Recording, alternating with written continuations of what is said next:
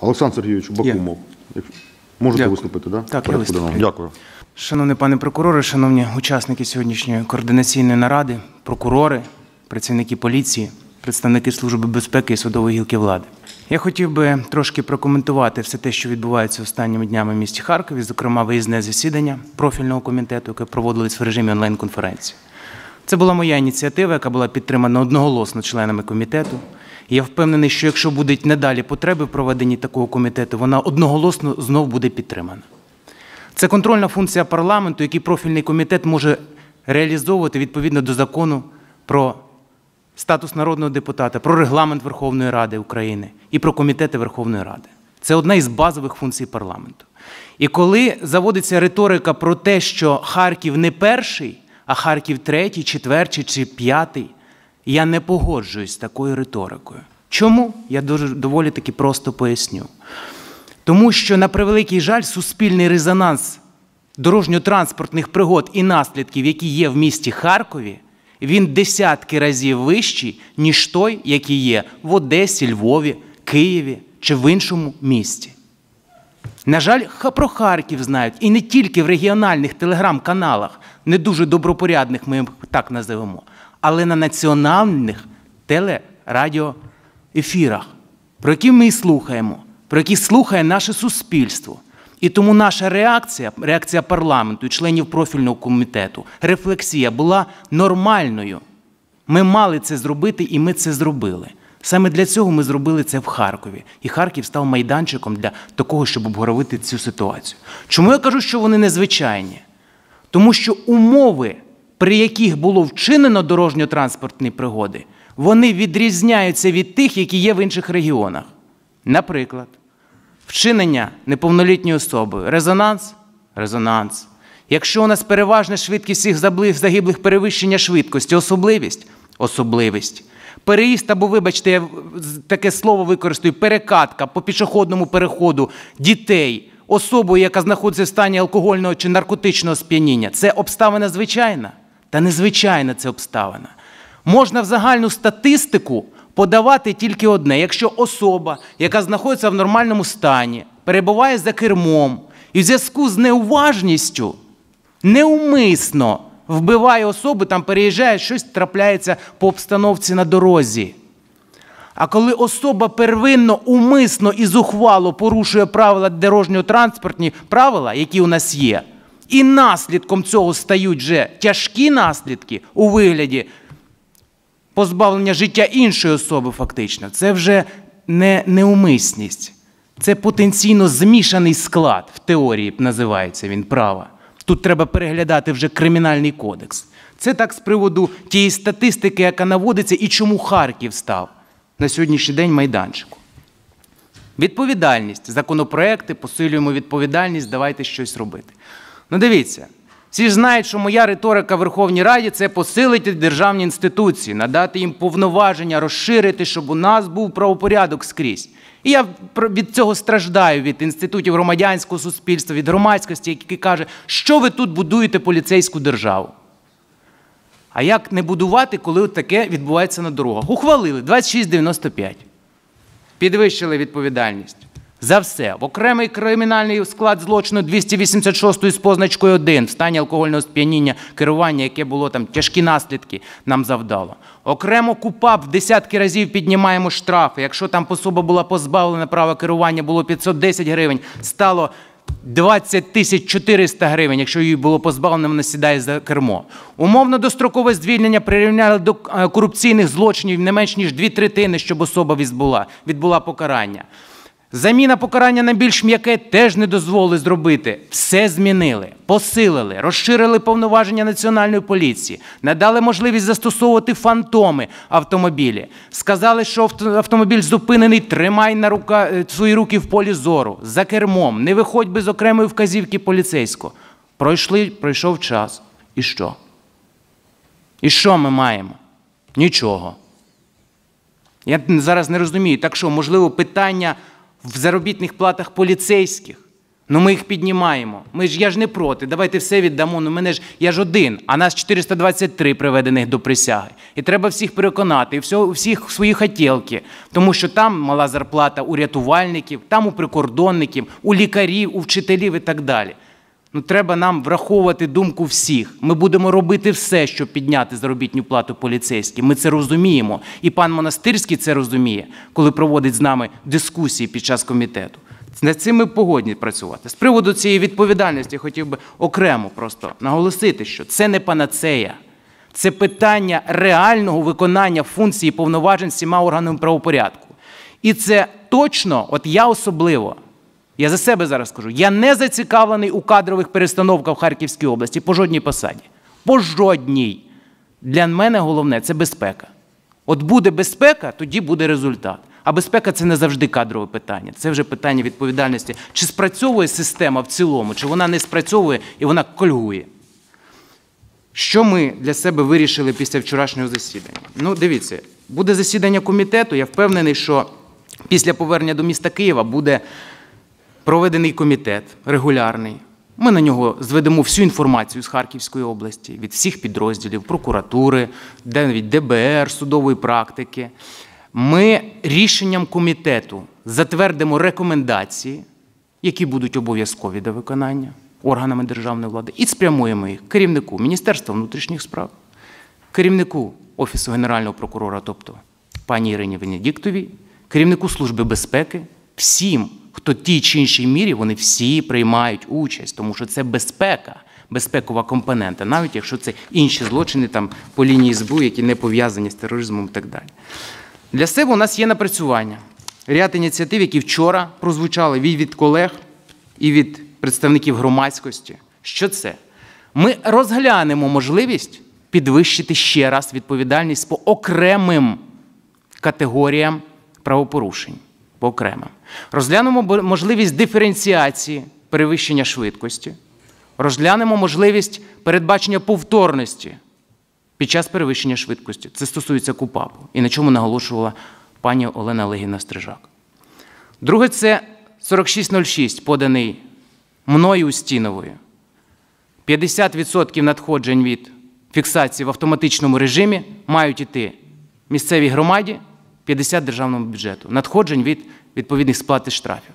Так ми, я тут дуже дякую окремо Євгену Наумовичу, Наумовичу за дійсно змістовну риторику, найзмістовнішу за сьогоднішню нараду, яка от поклала основу, яка ж має бути комунікація і вирішення питання. Тому що ми е, все про що, а вирішення питання треба. Який же ж крок ми маємо зробити? От місто сказало, як воно може допомогти. Ми кажемо, ми допоможемо, ми будемо наполягати, щоб 50% йшло до держбюджету, 50% йшло громаді, щоб громада була зацікавлена в тому, щоб встановлювати камери, встановлювати автовідеофіксацію і по іншим, в тому числі адміністративним правопорушенням. Зараз це може бути в майбутньому, це може бути пов'язане не тільки з перевищенням швидкості, а й з правилами там, маневрування і так далі. Третє, наголошувала вчора, вчора, повторюю сьогодні, тому що я є співавтором також цього законопроекту. Це амністія 5249 і 5249-1 альтернативний. Не допустити те, щоб ми зрозуміємо про суб'єкта який вчинив кримінальне правопорушення в місті Харкові на проспекті Гагаріна, щоб вказана категорія осіб, які потенційно могли підпадати під дію закону про амністію, не підпала і передбачити відповідною правкою до другого читання, або навіть повернутися до таблиці до першого читання і врахувати. І четверте це правки до держбюджету 2022. Знову повторюю, моя правка Іонушеса і інших членів комітету на 20 мільярдів передбачаємо. Ну нам кажуть, вибачте хлопці та дівчата, ну, не справляється державний бюджет, є інші потреби інших державних інституцій. І тут я, як народний обранець, я впевнений, що мене колега підтримає, що ми готові свої функції виконувати. Ми готові нести свою долю відповідальності, коли законодавство десь не спрацьовує, коли ми, у нас норми не працюють. Але ж дивіться, є заявка органів правопорядку, вона виконується. Прийшла Ірина Венедіктова, прийшов Денис Монастирський, сказав, нам необхідні такі зміни, нам є потреба. Проговорюємо, добре, ми чуємо, ухвалили в першому, побігли далі, врахували, ухвалили закон. Але якщо ми ухвалюємо, а воно не працює, ну це вже питання, давайте говорити про все. Не тільки про народних депутатів і про їх там персональну відповідальність і недосконалість законодавства. Треба говорити, якщо у нас є ситуації з неповнолітніми особами, як вже сьогодні наголошувалось, правильно, питання виховання, питання соціальних інститутів, які мають займатися цими питаннями, щоб особа не в 35 років розуміла, як їй переходити вулицю, що вона не може сідати за кермо в 16 років, щоб вона це розуміла в 16, що їй не можна сідати за кермо. Розумієте, що переходити по вулиці не в невстановленому місці не можна, тому що вона просто може загинути там. Ось ці питання вони вже належать не в площині, умовно кажучи, от тут потрібно поділяти не законодавця, а спільної відповідальності і органів місцевого самоврядування, як окремої публічної виду влади, незалежної, немає над ними керівників. Є міський голова і є найвищі посадові особи в місті. Стосовно. І тут ми повинні простягти руку і сказати, давайте щось зробимо, давайте розробимо спеціальні програми, які будуть реально з цим працювати в школах, в професійних закладах освіти. І там встановлюється це. Це буде впливати на думку і на розум підростаючого покоління? Та точно буде. Якщо б соціальні служби реально спрацьовували по питаннях наркоманії, по питанню, е, ну, по інших, які е, створюють умови, що особа недобросовісно е, виконує не- виконує громадянське, а спів, співжиття існує з суспільством. Ну, це ж питання вже і до інших інституцій. Тому я б на цьому 100% акцентував би увагу. Я вам всім дякую за те, що ви приймаєте е, сьогодні участь в цій координаційній нараді. Я впевнений, що Харків достойно представлений іншими колегами, які готові вас всіх підтримувати. І я впевнений, що цей комітет, сьогоднішня координаційна нарада під головуванням прокурора області, це не просто так зібрались щось проговорити. У мене є мета і у моїх колег. Ми маємо вирішити цю ситуацію. Якщо не 100%, але зробити 3-4 реальних кроки, які будуть спрямовані на те, щоб виправити ситуацію. Я вам всім дякую за увагу. Хочу, е, ну, по-перше, е, засідання проведення комітету на території Харківського регіону. Це дуже потужно, дуже поважно, і дійсно ми всі маємо намір е, про те, що воно дійсно приведе до якихось цілей. Разом з тим, ну, фактично в цьому залі зібралися всі, хто носить, носив погони, хто відноситься до військової служби або до поліції там, і так далі. Я хочу, щоб ми всі розуміли і глянули на це питання ще з одного боку. На сьогоднішній день Харків знаходиться буквально там за дверима стоїть Російська Федерація, яка е, по різній інформації з різних джерел, в тому числі е, європейських, американських, е, готується до потенційного наступу. Разом з тим, цей потенційний наступ може бути виключно після розхитування ситуації, розхитування ситуації в Харківському регіоні.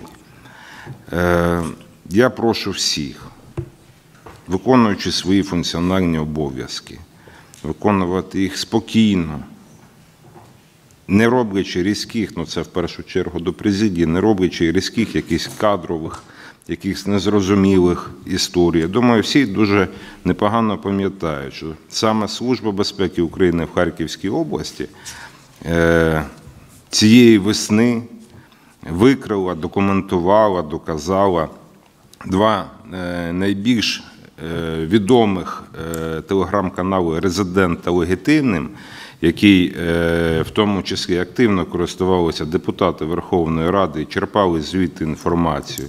Це був спеціальний проєкт е, головного управління. Раніше воно називалось Головне управління розвідки. ГРУ, головне розвідувальне управління. Е, Що це саме проєкт е, військових е, спецслужб Російської Федерації. Тому е, трошки не погоджуся е, з попереднім виступаючим е, стосовно резонансу. Так, резонанс є. Ми бачимо, що він є по прикордонним регіонам, які дотичні до е, Російської Федерації. Я ну, спеціально переглянув, що відбувалося там за останні 3-4 дні на території нашої країни. Вчора в Закарпатській області п'яний водій три трупи. Позавчора Львов 5 е, травмованих також в сос- состоянні наркотичного е, сп'яніння.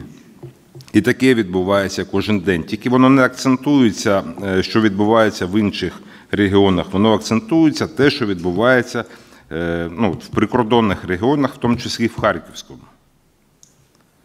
Стосовно обставин, ну, обставини такі самі і там є, і е, ну, випадкові, от, ну, от як пару днів назад біля Писачина, коли, е, вибачте мене, дідушка 71 рік збив бабушку 65 чи 66 років, просто не побачивши її. І таке буває. І буває на іншій території України, в інших регіонах таке буває. Коли робиться хайп, і коли робиться, що саме тут щось відбувається таке, ну, в мене, як відповідального за безпеку в зазначеному регіоні, виникає питання: навіщо? Або є нерозуміння, або є якийсь е, задум, який задум, до чого він ну, до чогось він веде.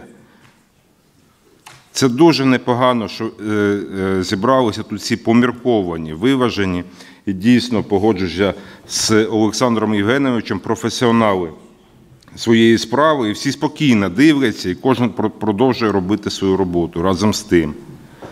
Отакими от вбросами інформаційними, в тому числі через е, підконтрольні там, Російській Федерації телеграм-канали, може бути націлена саме на зняття тієї чи іншої е, вертикалі власті для е, внесення сумятиці тощо. Разом з тим, як керівник координаційної е, групи і керівник е, антитерористичного центру на території Харківського регіону, е, зацитую висловлювання бійців 3-го полку спеціального призначення. Це саме ті хлопці, які ходять на ту сторону, на тимчасово окупованій території, які здобувають інформацію, які працюють у тилу. Коли вони проводили тут навчання, вони кажуть, такого супротиву, як в Харківській області, ми не бачили ніде. На всій території України за весь час проведення навчань.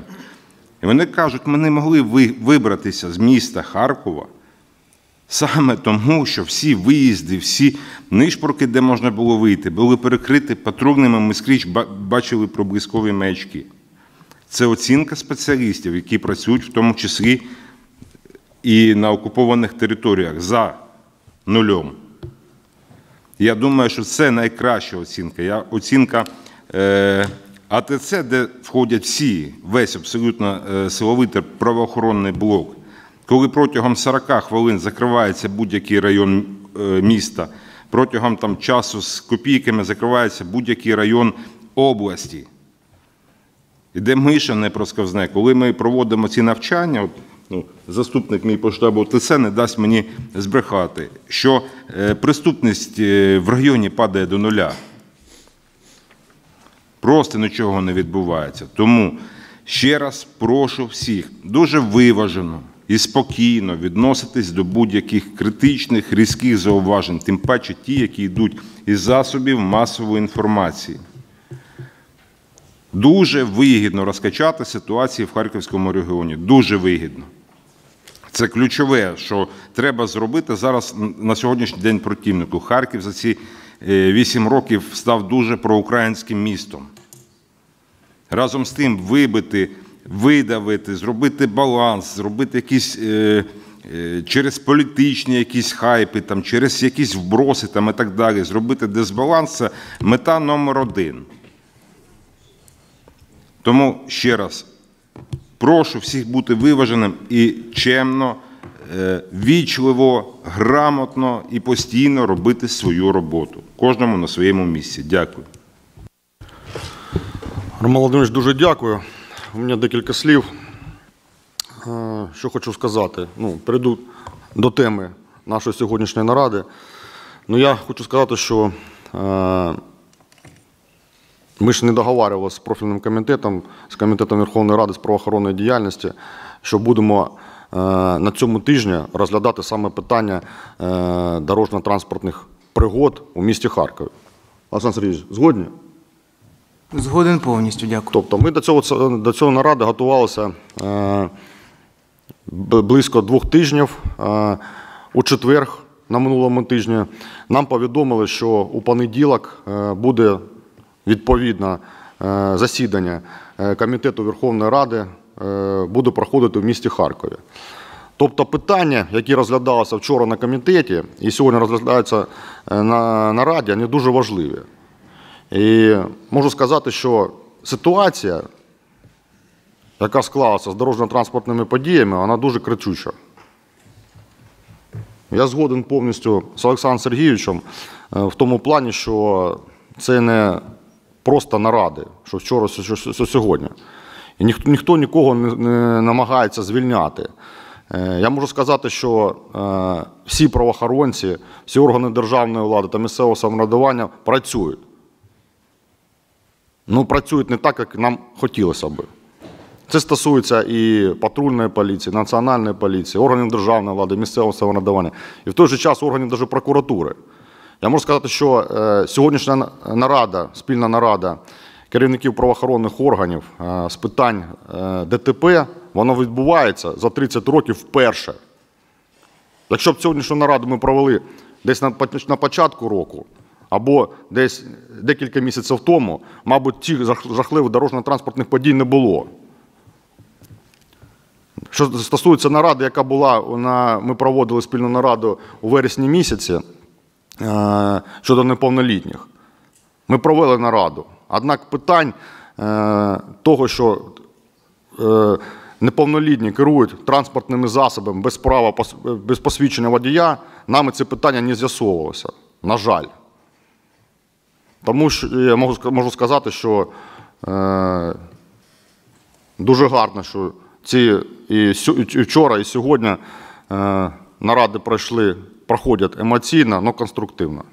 І дуже вдячний Олександру Сергійовичу, що, скажімо так, е, вчора дійсно засідання Комітету Верховної Ради пройшло конструктивно. Олександр, Без я яких там орг виводів. От навіть участь генерального прокурора в нараді говорить про її актуальність, яка сказала, що я прийму участь. Якби були інші можливості, я впевнений, там був Денис Анатолійович, але були графіки, вибачте. Так, дякую.